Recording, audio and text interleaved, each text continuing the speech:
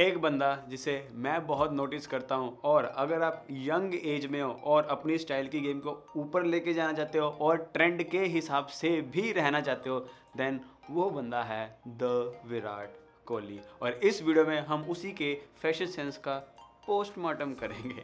तो मैं आपका यार दोस्त ऋषि अरोड़ा, ये है वीकेंड करिए फिर शुरुआत।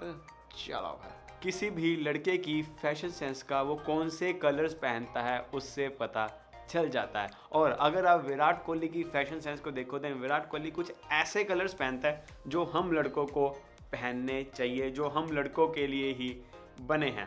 उन्हें मैं मैन न्यूट्रल कलर्स कहता हूँ। अब ये कौन कौन से कलर्स होते हैं? ये होते हैं हमारे black grey shades of brown navy blue white हालाँकि पूरी लिस्ट मैंने नीचे डिस्क्रिप्शन में लिख दिया है। अब इन कलर्स को पहनने का बेनिफिट क्या होता है? वो ये बेनिफिट होता है कि आपकी चाहे कोई भी एज हो, चाहे आप छोटे हो, चाहे आप बड़े हो मैन न्यूट्रल कलर्स आपके ऊपर अच्छे लगेंगे। दूसरा बेनिफिट क्या होता है कि ये कम रिस्की होते हैं। कम रिस्की कहने का क्या मतलब होता है कि अगर आप अंधेरे में, कमरे में जाओगे और एक जीन उठा लो और एक शर्ट उठा लो या टी शर्ट उठा लो, दोनों को मैचिंग करके पहनो, तब भी आपकी मैचिंग बड़े आराम से हो जाएगी, यानी कि आपको ज़्यादा सोचना नहीं पड़ेगा।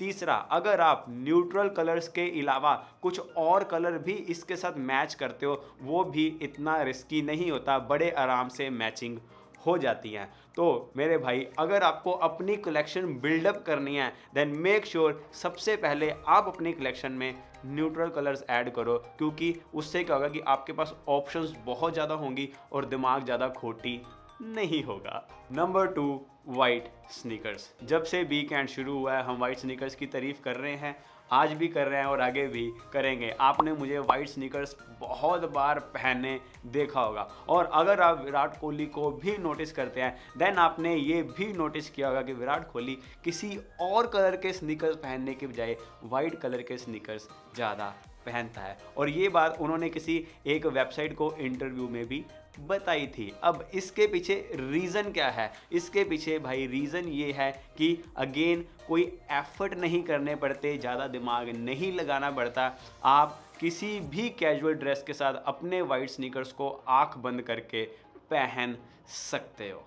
नंबर थ्री असेसरीज जैसे खीर में जब तक किशमिश और बादाम ना डालो, खीर खाने का मज़ा ही नहीं है। वैसे ही आपने आउटफिट पहन ली, ऊपर से लेके नीचे तक आप बिल्कुल टिप टॉप लग रहे हो, लेकिन अगर उसके साथ आपने असेसरीज को ऐड नहीं किया दैन मेरे भाई, वो खीर में बादाम और किशमिश नहीं डले हैं। अब असेसरीज क्या ऐड करते हैं? अगर हम विराट कोहली को स्टडी करें देन विराट कोहली ने एक इंटरव्यू में बोला था कि वो अपनी वॉच को लेके और बैंड को लेके ऑब्सेस्ड हैं। और अगर आप विराट कोहली की कोई भी बाहर वाली पिक देख लो, बाहर वाली पिक कहने का क्या मतलब है? वो किसी इवेंट पे गए हैं या फिर कहीं और बाहर से आ रहे हैं, उन्होंने वॉच हमेशा पहननी होती है। क्योंकि वॉच एक ऐसी चीज़ है जो आपका इंस्टेंट आपके स्टाइल का इंस्टेंट लेवल अप करती है। मैं काफ़ी दिनों से बोलता आ रहा हूँ। अपने स्टाइल में वॉच ज़रूर ऐड करो। Number four, fitting. हम वीकेंड में शुरू से यही बात करते आए हैं कि आपके स्टाइल में फिटिंग राजा है।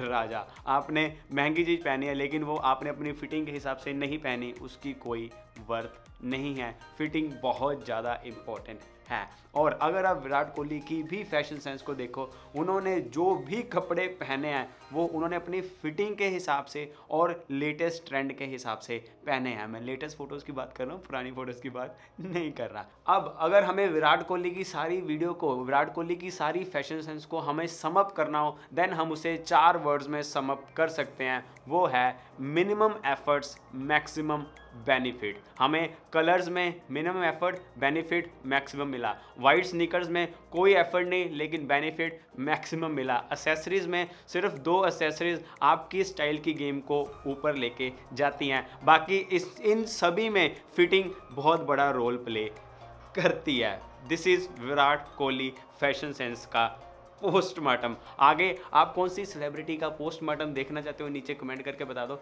आप उसका पोस्ट पोस्टमार्टम कर देंगे। बाकी this is be canned don't forget to be canned मिलते हैं अगली वीडियो में। Like comment share and subscribe क्योंकि ये आपका ही चैनल है।